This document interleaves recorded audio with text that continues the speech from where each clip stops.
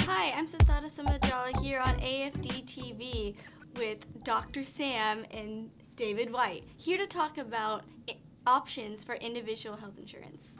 Great. So what are our options?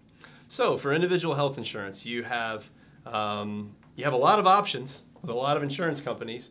But as far as where you're going to buy it, um, you have two choices. You can either get a plan on what we call the marketplace or healthcare.gov or the exchange, or if you're in a state that has their own state exchange, through that through that exchange, or you can go directly to an insurance company and buy directly from the carrier.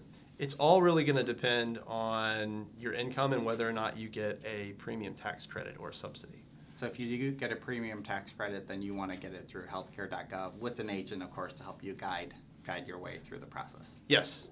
Um, really, what, what we do is, you know, you're going to look at your income, and incomes really between 100% and 400% of the federal poverty level are eligible for a subsidy. Um, it's kind of a convoluted math formula, but basically that's the income range. And then between 100 and 250% of the federal poverty level for moderate to lower income, there's actually reduced out of pocket costs in addition to the premium subsidy that one can get that, for example, would reduce your deductible or would reduce your out of pocket max or reduce the copays when you go to the doctor or the copays when you have your drugs. So that, but that's only available on certain plans and only if your income is between 100 and 250 percent of the federal poverty level. So 100 and 250 percent of federal poverty would that be Medicaid?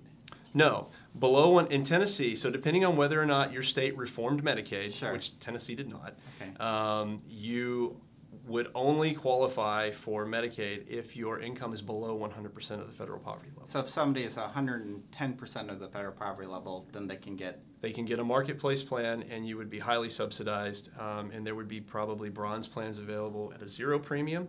And then if you chose a silver plan, you would we, you would get what we call the reduced cost share uh, plans or cost share reduction plans, which would lower your out of pockets and deductibles. So- it's only available on select silver plans, though. Oh, got it. Okay, so the fact that Tennessee didn't expand Medicaid is not a horrible thing in that patients who are at 120% can still get insurance. You can. Yes, okay, got it. That makes sense. And uh, so what is 100 to 400%? What's the income we're talking about now? Well, for a single person, the federal poverty level in 2015 is somewhere around 12,000 ish. And then 400% of that would obviously be around 48,000, right? For, or for know, a family? For that would be one person. Sure. And then basically it goes up from there depending on the number of people you have in your household. Okay, so, so if somebody it has, wouldn't necessarily be if you have two people, it's not two times the individual rate, Ah. but it, it starts. so it somebody goes up. has six kids. If somebody has six kids, you can have quite a bit of income and still get a subsidy.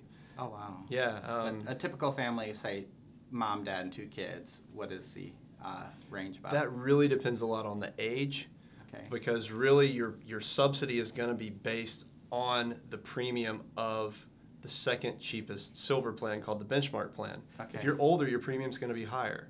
So you would, rec- you would qualify for a higher subsidy and the income levels that you could have and still get a subsidy would probably be a little higher than say if you were 20 years old.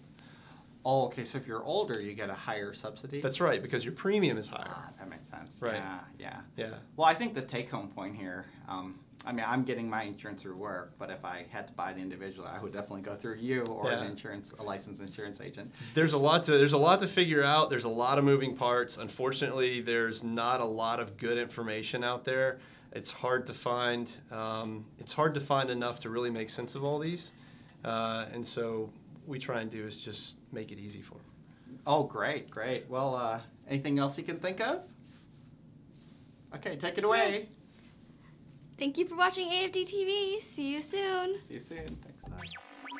AFD TV is designed to provide an educational discussion about current medical topics.